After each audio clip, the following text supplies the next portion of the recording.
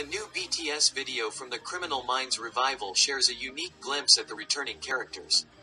Barely a year after the long running FBI procedural ended its run on CBS, news broke that the series was being revived for the new streaming platform Paramount Plus. Development on the show was initially slow, but in July 2022, Paramount Plus officially handed a series order to Criminal Minds, commissioning it for a 10 episode season 16. Original cast members Joe Mantegna, Kirsten Vangsness, Adam Rodriguez, AJ Cook, Aisha Tyler, and Paget Brewster have signed on to return for the revival. Although past series regulars Matthew Gray Gubler and Daniel Henney are not coming back to reprise their roles as Dr. Spencer Reid and Matt Simmons, respectively.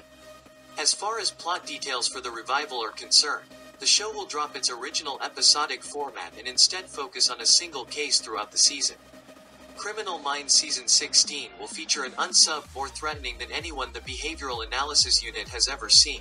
The new antagonist is a mastermind who has leveraged the social distancing rules during the COVID 19 pandemic to develop a network of serial killers, and the ring of notorious murderers will become operative as the world returns to normalcy.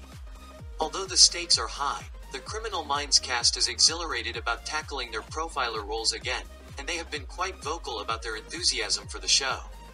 Now fan account Best Hotchness has shared a BTS TikTok video from the set of the Criminal Minds revival, teasing how the trailers are being prepped to host the returning cast of the show. Names like Prentiss and Garcia have been affixed to each trailer, teasing their thrilling reprisals.